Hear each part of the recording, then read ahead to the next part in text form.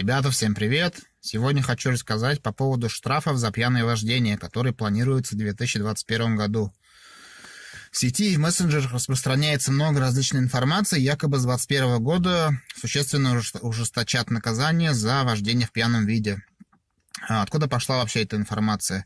Во-первых, в начале 2020, 2020 года был впервые опубликован проект нового КОАПа, который должен был вступить в силу с 1 января 2021 года. Так вот, в этом документе, вернее, в проекте этого документа содержалась информация по поводу ужесточения наказания за отказ от метасвидетельствования. То есть на данный момент у нас э, наказание за вождение в пьяном виде либо за отказ от метасвидетельствования одинаковое. Это штраф 30 тысяч рублей, а также лишение прав на срок от полутора до двух лет. А в новой редакции КОАПа предлагалось штраф за отказ от освидетельствования повысить до 40 тысяч рублей, а срок лишения увеличить до трех лет, до трех лет максимум. Однако эта первая версия проекта была отклонена, потому что в ней содержалось слишком много повышений штрафов, что, в связи с чем от нее отказались, и летом 2020 года появилась последняя версия, на сегодняшний день пока, насколько я знаю, более актуальной версии нету.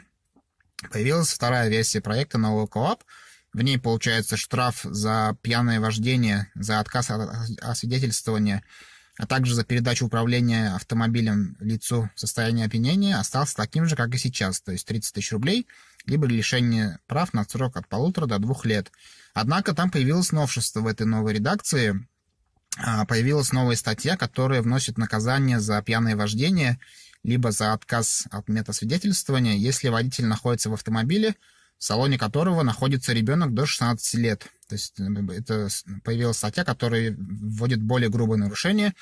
То есть если пьяный водитель находится в машине с ребенком, то штраф за это нарушение предложено было в новой редакции повысить до 50 тысяч рублей, то есть не 30 уже, а 50 тысяч рублей, а срок лишения прав увеличить до трех лет.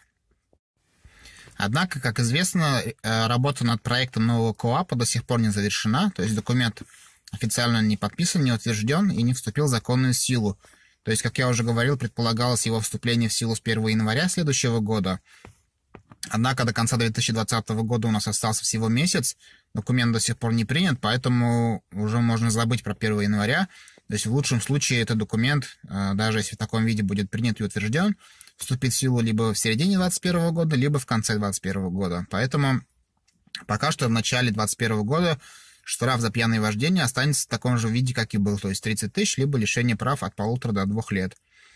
В случае, если этот проект КОАПа будет принят, то, как я уже говорил, за вождение в пьяном виде с ребенком в салоне штраф может вырасти до 50 тысяч, а лишение прав до трех лет. Однако, если же эта редакция КОАП еще будет редактироваться дополнительно, то есть вноситься правки будут, возможно, что и эта статья еще, может быть, поменяется, либо от нее вообще могут отказаться, поэтому будем следить за новостями.